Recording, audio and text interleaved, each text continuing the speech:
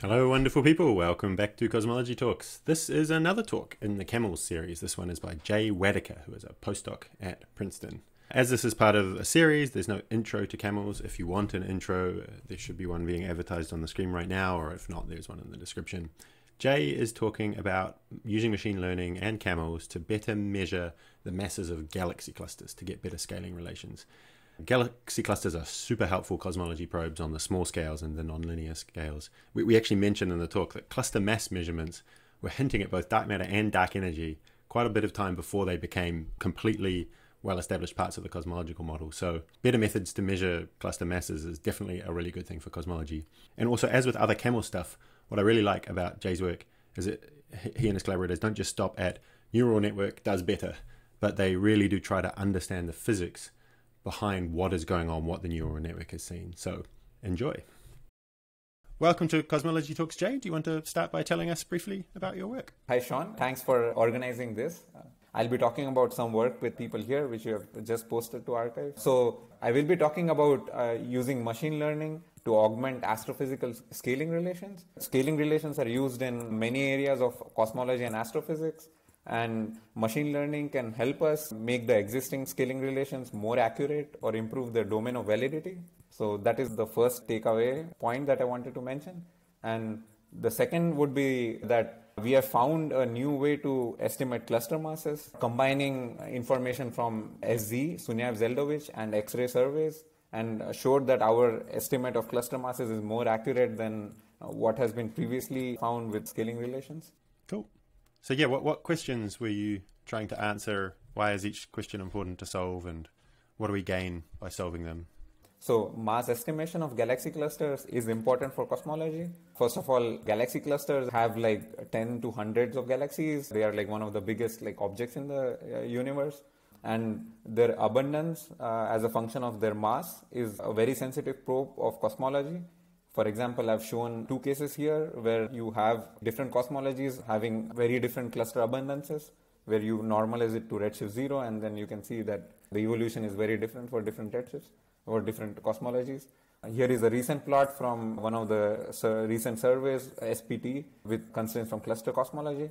One interesting fact is clusters were actually used for one of the first observational uh, predictions of dark matter by uh, Fritz Zwicky, who called it uh, dunkle Materie. Cluster masses was also something that was hinting at lambda before lambda got detected, right? Like people were measuring the masses and only getting omega matter equals 0.3 and thinking what's going on, and it was Right, right, yeah. They have a, a, rich history going back to like many decades in cosmology. I guess the point about this plot in the top right hand corner is that the blue one is cluster cosmology, and then is is the red one like weak lensing cosmology, and the yellow one weak lensing. So you're, you're sort of showing that cluster cosmology is competitive with, with them, or are all of them cluster? Uh, no, only the green and the blue are cluster cosmology, and others are weak lensing and Planck.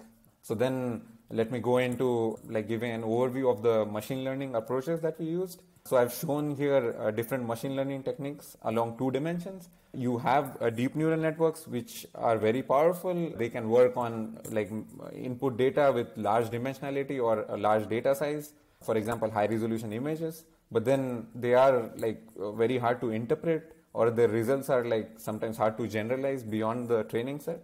On the other side is this machine learning algorithm called symbolic regression. It can work only on like small data sets. For example, each data point can have 10 parameters and you can have like less than 10,000 data points. But then it can produce equations which can be readily interpretable and generalizable, which I'll talk about. So I just thought of like giving a very, very quick overview of how symbolic regression works. So if you have a very like simple uh, like toy 2D data, if you give like a data file to symbolic regression, what it does is it tries to search the space of functions to try to come up with the best function which can fit these data. So for example, it tries cosine, does not work, tries a linear function which is close. So then it keeps iterating on this linear function and then it finds an equation which fits quite well. So this is a very simple uh, like 2D example. You might say that I could have also guessed a function similar to this, but then symbolic regression becomes very important when you go to high dimensions where you cannot uh, visualize a high dimensional hypersurface easily, but then using symbolic regression you can find what equations encode this hypersurface. Oh, you can also restrict like the space of functions it looks looks at. Like if, if you have a hunch that it might be a polynomial or a hunch that it might be sinusoidal, Because one of the things I think I've heard before that is a bit of a problem with symbolic regression is it might just spit out some formula that is just completely unphysical, and if you went even slightly outside of the the range that it was trained on, it would do silly stuff. But I guess if you limit what it can look at to things that you expect might be physical. Right, right. I also think it's very useful that you can get some very useful feedback from it. Maybe it may not give you the final answer which uh, uh, you might expect, but then you can get some feedback and then you can use the knowledge that you have, the domain knowledge, to then come up with an even better answer. So I use it. I, I think of this method as like it can give you useful feedback, not maybe not give you the final answer right away. So then, yeah, let me go like jump straight in where we use symbolic regression in our problem we observe clusters in many different wavelengths and the traditional way of estimating masses of clusters is to take like one observable from these surveys. For example in, in the cmb surveys due to the thermal Sunyaev-Zeldovich effect you can actually measure the total amount of like thermal energy in the cluster which uh, people call it as ycmb and we know from virial theorem that it is proportional to the mass of the cluster. It follows a simple power law with a small scatter and so this is how we infer uh, like cluster masses. And one thing to note here is like there is scatter in this relationship. The smaller the scatter, the more accurate your mass estimation is. And uh, this is where we try to like improve upon the previous method by trying to see whether you can augment this observable from CMB surveys with observables from some other surveys. For example, uh, properties in X-ray surveys or uh, galaxy surveys. Our motivation was there could be complementary information which can be hidden in, in some of these parameters, which can then be added to uh, the, the thing we measure from CMB surveys and give us a more accurate uh, prediction. And the reason why using machine learning techniques here is useful is that there are a lot, lot of parameters which you don't know like what parameters enter this equation. You also don't know what functional forms to combine these parameters with the original YCMB with. So in cases like these, I think you can use symbolic regression to search these high dimensional space. The super nasty thing I would imagine here, if you're trying to do it without machine learning, is also worrying about covariance because a lot of these probes are different observational probes of kind of in the background the same fundamental physics, like the, the temperature or, something like that. And so then, yeah, developing some sort of optimal statistic without letting a machine do it for you would require understanding a heck of a lot of what's going on under the tins. And uh, one one way people have traditionally done is is like looking at a lot of 2D plots to see whether you can like identify a high dimensional surface. But once you go to high dimensions, like a lot lot of dimensions, this approach becomes quite tedious. So then we did not like directly use symbolic regression here. We used a decision tree based approach uh, called random forest, which is a lot faster to train. And what we tried to do first is we tried to identify which of these parameters are even important and we found that the stellar mass was like giving us a good prediction. So then we went a step ahead and uh, used symbolic regression on these parameters to see what we get. I'm going to ask this at some point, and I, I have to. I can't hold myself back. This is the last of the the talks that we're recording. A lot of your colleagues have sort of said one of the problems for future work is that the boxes in camels are not big enough. They're only 25 megaparsecs across. That must be a problem you've you've had here as well, right? Like, does every box even have a galaxy cluster in it? Yeah, that's a good point. Yeah, you, you are right that uh, there are a lot of uh, boxes and camels which do not have a single cluster. So you can you can probe some of the lower mass ranges. I, will talk about this in my next slide. So the first thing we tried to do is we did not use camels. Like in the beginning, we tried to use the Illustris TNG for the reason that you mentioned. Camels has a small volume. Illustris TNG has a much much larger volume with a large number of clusters. So then we applied symbolic regression on, on these dimensions that I mentioned, and we found actually that you can have a better prediction of mass if you combine this parameter from CMB surveys with a parameter that you can estimate from X-ray surveys, which has this form 1 minus a constant times the concentration of gas. So what this does is it effectively downweights the, the central regions of the clusters which are more noisy and it upweights the outskirts of the clusters which are less noisy and so I think that's why in the end uh, it gives a mass prediction which is like a bit more accurate and you can see the improvement uh, in the bottom panel. We thought it was like a good way of uh, combining like complementary information in these two probes. For example, X-ray has a high resolution like information, but then it's an indirect probe of gas thermal energy. And on the other hand, CMB has a low resolution but a direct probe. And and so this one minus A C gas was not something that you or any of your colleagues as a I don't know, sentient human being thought, hey, let's try this formula. It was it was what the symbolic regression told you was Right, right, yeah.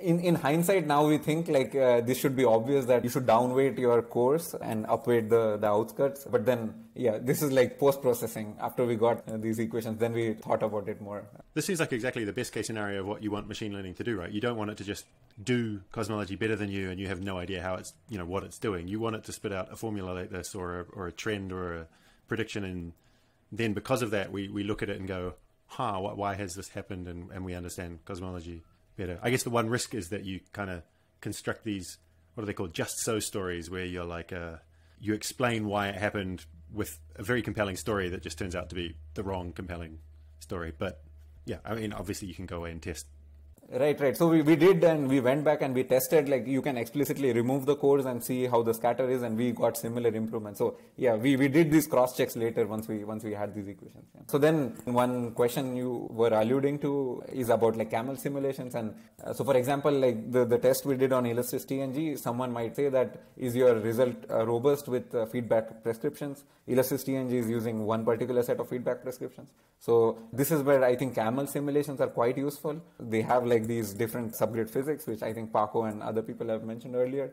So we tried our method on these simulations, uh, these camel Simba and the camels TNG set, and it, it does seem to have like a similar improvement in both cases. So we could then uh, verify that this method is robust to changes in baryonic feedback well, to these specific changes. Yeah, yeah, these particular changes. And regarding your point, you can see that it does not probe like the high mass range very well. So we still need some simulations which vary baryonic physics, but then they produce like high mass clusters. So you could start camel simulations with seeds which have like larger uh, objects in them, and that would be one way to try to do this.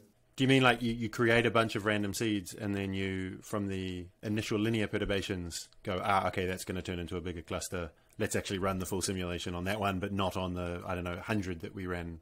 Uh, right, right. This is one way which people are thinking about. One thing you have to be careful is cosmic variance. Uh, if you ha- if you are doing a study which has cosmic variance as uh, one of the things in it, so then you have to be careful picking particular seeds. But then, if you're doing an analysis where you are probing feedback, I think this is fine. You can try to pick those seeds and uh, see whether you get these high mass clusters, and then you can uh, like use your theoretical techniques and see if those work on those high mass clusters. Yeah, I, I guess by doing that pre-selection, you've got a kind of selection function that's sneaking its way in, which is not the observational selection function. Because observationally, you're also only seeing the things above some flux cut or above some SZ signal, but that's probably not going to correlate to naively what you might. Right, right. Yeah, okay, that's interesting as well.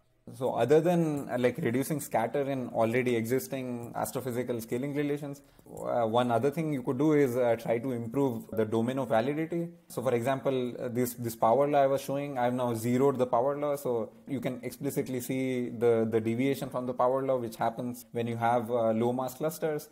And this happens because you have active galactic nuclei feedback or, or supernova feedback, which just blows gas out of clusters and we then try to see whether you can add in uh, some parameters which can then improve like the domain of validity of these uh, self-similar relations. And we saw actually that this ratio m star over m gas actually works quite well. So you can see for both this camels TNG and camel simba uh, you get a lot of improvement.